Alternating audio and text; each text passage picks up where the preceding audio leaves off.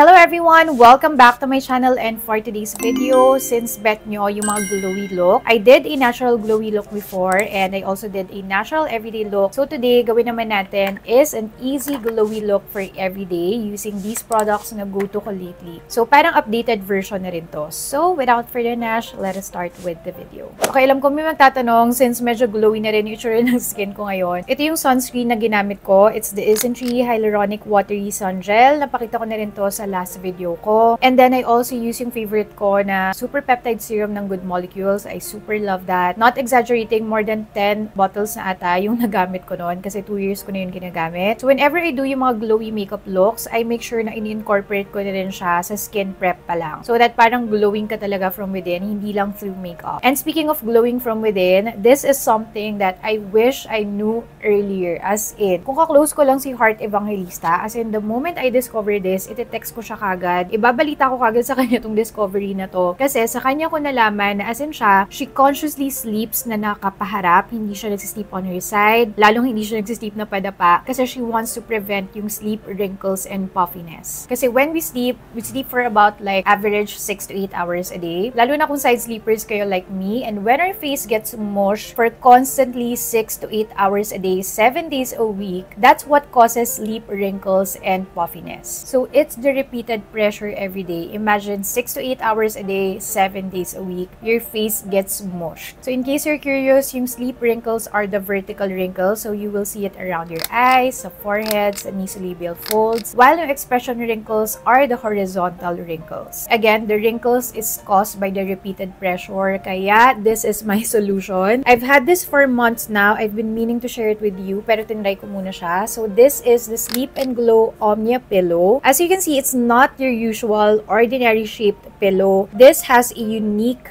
patented 3D design. So, meron siyang two side cradles, as you can see, that allows you to sleep on your side without smushing, without compressing your skin during sleep. So, as you can see, meron kang support on the head, meron kang support on the chin, meron kang support on the neck. And this curve right here, lalo na again, if you're a side sleeper like me, it actually feels like you're floating. Above all, it's actually so comfortable. And again, the best part is walang pressure. So, kung walang pressure, walang puffiness, walang wrinkles. Alam to ng husband ko, I always sleep on my left side. Kaya one time, merong doctor na nagtanong sa akin. Sabi niya, guro natutulog ka on one side of your face. Sabi ko, yes, doc, paano mo nalaman? Sabi niya, kasi halata na mas lowered yung other side ng face ko compared to the other side. That's why I wish I knew this earlier. But it's never too late. And yes, yung sleep wrinkles, it's not made up. It actually really exists. Kung check niyo actually yung website ni Sleep and Glow, makikita niyo doon yung mga kilalang doctors. Some I even watch on TikTok na nire-recommend nila tong pillow na to because this is actually clinically tested. So, clinically proven siya that 82% of cases actually reduce sleep wrinkles after 3 months of using this pillow. And designed din siya by orthopedists to make sure na anatomically correct yung body position nyo when you sleep using this pillow. So, I'm just sharing my story because this for me is an investment kasi for me, when it comes to skin, when it comes to well-aging, prevention is always, always better than cure. And I'm also happy to share with you that I partnered with Sleep and Glow to give you a discount code. Kasi guys, si Sleep and Glow, never yan nagde-discount. But thankfully, they gave us a discount code which is right here. So it's Giselle10. So you can get 10%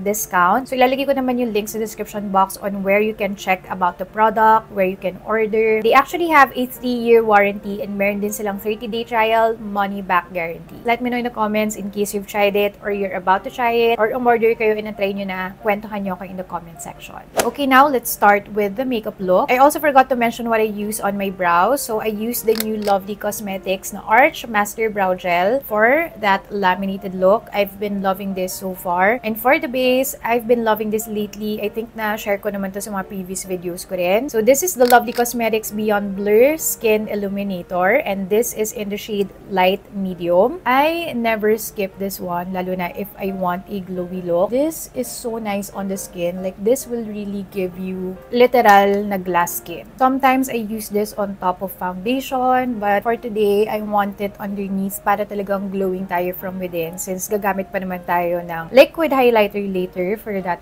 extra glow. See that? As in, para kang nag-exfoliate. Ganyan yung dating niya on the skin, lalo na how it catches light. So this is actually something that I can recommend if you're someone lagi nagre-record ng video, ng pictures, and you want your skin to appear glowy and healthy on camera. Ang ganda niya mag-catch ng light. And for the foundation, I've been contemplating which foundation to use kasi lagi na lang ito yung ginagamit ko. Pero for glowy looks, ito talaga yung best foundation finish for that. So this is the Issey Active Foundation. I'm in the shade NL 2.5. Sobrang bet ko lang din talaga yung combination nito and ito for that natural glowy looks. Kapag gusto ko talagang ma-enhance yung skin, it has that natural glow na para kang pareha sila ni Illuminator na para kang nag-skincare ng bongga or para kang nagpa-laser the day before. Ganon ka-glowy tingnan yung skin. And I also like how this is buildable. Tapos kahit i-build mo siya, as in hindi siya mabigat at all, it never looks foundation or cakey on the face. Sobrang perfect nung shade match. Look at that finish, that shade match. So nice. Okay, the base is basing so far. Very Gen tayo doon. Now, for concealers, I actually have two options. Itong dalawa yung go-to ko lately since itong dalawa yung magkasabay halos ni release. Okay, ang difference lang naman nilang dalawa is yung consistency ni Lovely mas thick talaga siya. So, you only need a little to achieve that coverage. With Vice naman, it has a thin consistency. So, para lang talaga siyang nagbe-blend sa skin. But it also has enough coverage. For today, since I'm going for that very light lang naman na makeup look, I think I'll go for the Vice Skin Sealer. I use the shade Light Medium 1 on my under eyes. And this is the type of concealer na I find na hindi ko na kailangan i-marinate or i-wait na mas mag-set siya. Mas gusto ko siya na biniblend kagad. But compared to the Lovely Cosmetics one, with Vice, I like to work my way up. Magdadagdag na lang ako in case gusto ko pa ng added coverage. With Lovely kasi as in, a little goes a long way. Very effortless lang din siya i-blend.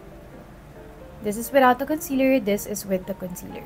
Actually, sa new collection ni Vice, si concealer yung pinaka-favorite ko na product sa lahat ng release nila. And look at that, instantly 8 hours of sleep. And then for my blush, I always mix two shades and ito yung go-to ko lately. These are from Lucky Beauty. These are their ethereal liquid pigments and I always mix the shade First Love and Gypsy. So I go first with the deeper shade. With this formulation, literally a little goes a very long way. Minsan pag napapasobra ko, binabawasan ko by tapping the on the back of my hand. But it actually is so blendable. So kahit mapasobra kayo, you can sheer it out. This is a very nice shade. This is in Gypsy.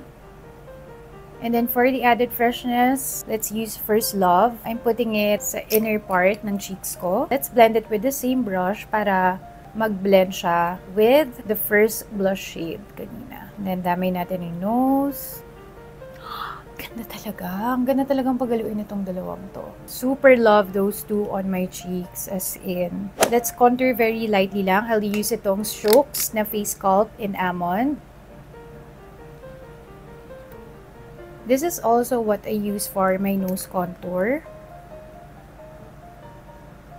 Alam nyo na yan, pag nose contour, I like using my fingers para nape-press ko talaga siya dun sa buto. Buto ba yun? Or cartilage. For setting the face, since I don't want to cancel the glowiness, I'll just use a finishing powder. So, depende na yun sa inyo. If you have oily skin, definitely you can bake. Pero remedyan nyo na lang with the highlighting products that you're going to use para ma-achieve nyo pa rin yung glowy skin. But for today, I will use itong bago ng Vice Cosmetics. So, this is the Vice Co. Universal Fix Universal Bake Setting Powder and this is in natural. Actually, sobrang bare minimum powder lang nito. Ang nagagawa niya lang talaga is lightly set the face, as in very, very lightly. But what I like about this is that when I'm going for glowy looks, it doesn't fully cancel out the sheen that I want. As you can see, I'm going over my cheeks but nandun pa rin yung sheen. So this is the side without, this is with the powder. And don't worry, meron pa tayong gagamitin later to bring back that glow. There you go. See, nandun pa rin yung sheen. And then I'll just do my brows. Again, using itong favorite ko. What's new? The Izzy Co Brow Detailing Pen in Warm Brown. As in, very lightly lang. I'm just filling up the areas where I need to. Before, I would use the same brow product as my eyeliner. But for today's video, since bago to ni Izzy and I enjoyed using this, we will use this Izzy Gel Pencil Extreme in the shade Diva. This is yung parang chocolate brown shade nila. And once you put it, as in dapat, blend ka agad kasi it sets right away. Dapat within 5 seconds, blend ka na. Dito lang naman ako naglalagay kasi I want that very natural shadow lang just to lift up the eyes. I'm okay with this na I like that undetectable wing. I just like to naturally open up my eyes. And now to set our cream blush, we will be using from the same family. Sobrang favorite ko to lately as in this is my go-to blush, my current signature blush. This is the Lucky Beauty Aura Blush in Passionate. Sobrang ganda nito. Whenever I use this, lagi may nagtatanong ano yung blush na gamit ko. That's how beautiful it is. Tapos ang maganda sa kanya, hindi siya yung chalky na blush. Wala siyang masyadong fall fallouts. I super love this na umorder na ako ng backup ko nito. Also lasts pretty well on me. Look at that. Ang ganda talaga. I also like this on my nose and on my chin. And dinadami ko rin yung eyelids ko as always.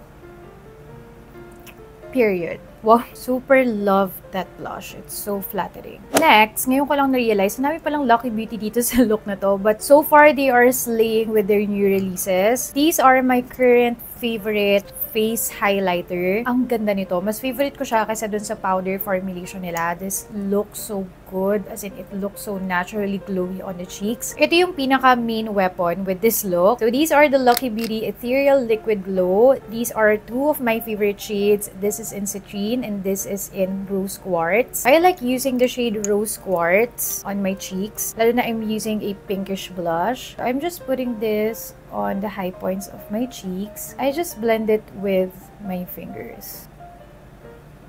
And look at that. Ang ganda talaga. Whenever I use this, na-amaze pa rin ako. And I'll just also put here. I love it. And then I like using the shade Citrine on the other parts of my face, like my nose, my cupid's bow, my chin, and my inner corners. Actually, si Moonstone, or yung parang pinaka-pearly white nila na shade, ang ganda rin nun sa inner corners. Look at that. Closer look. I love it so much. Now for the eyes. So, hindi ko na i-recurl yung eyes ko since nag-curl na ako kanina. Ayoko rin ng super duper curled ngayon for this look. So, I'll be using, ito yung current go-to ko ngayon na mascara. This is the Izzy Maximizing Mascara. This is the perfect everyday mascara. It's not the most dramatic mascara, although you can build it up. As in, you can put up to 4 layers of this mascara to get your desired volume. But ako kasi, for that everyday cleaner look, I just put one layer and okay na ako sa kanya. Actually, ito, yung mascara base pa lang yan. Pero minsan okay na ako dyan even without putting the mascara itself. The best part din kasi with this, ang dali niyang tanggalin since it's a tubing mascara. And never siya nag-smudge. Never ako nagkaroon ng panda eyes with this. Nalagay ko na yung mascara itself. Actually, grabe rin talaga yung volume nito. But again, what I like about it is pwede mo siyang timplahin. This is with the mascara. This is without. Lastly, for the lips, this is my current favorite lip tint. This is from Arcadia Beauty This is their Daily Lip Tint in the shade Harmony. Oh my God, nagkamali ako ng hugot. Si Bliss pala to. Pero pwede na rin, bagay rin siya sa look natin. And this is actually one of my favorite shades as well. Favorite ko si Bliss, Harmony, and si Divine. I-mix na lang natin sila ni Harmony. This is Harmony. And since we're going for that glowy look, syempre dapat glowy din yung lips. So this is also my current favorite lip gloss. So this is from Sunny's Face. This is their Glide Gloss in the shade Rose Water. I super love this formulation. Meron akong gustong bilhin ng ganito from Hourglass. Buti na lang, Sunny's Face came up with something similar. It's a high shine gloss stick. Medyo makalat lang siya, so linisan nyo na lang yung gilid after yung gamitin. And this is the final easy glowy makeup look for everyday. Look at that glow. It's so nice. Ang maganda dito, it looks so nice in natural on camera as it is in person. As in, hindi kayo mukhang too makeup-y in person. Alam mo yung parang ang ganda lang talaga ng skin mo. That's how it looks like both on camera, both on artificial lighting and on natural lighting and in person. So medyo inayos ko lang yung hair ko, but that's it for today's look. I hope you liked it. Yung something na pasok pa rin sa natural makeup category. Let me know na lang kung meron kayo mga questions, but lahat ng ginamit ko na products will be linked in the description box below. And kung meron din kayo mga video suggestions, sabihan nyo lang ako sa comments. Thank you, thank you so much for watching. Kung hindi pa kayo nakasubscribe, you might want to consider subscribing to my channel and liking this video as well. Thank you, thank you so much for watching this video and I hope to still see you in my next one. Bye!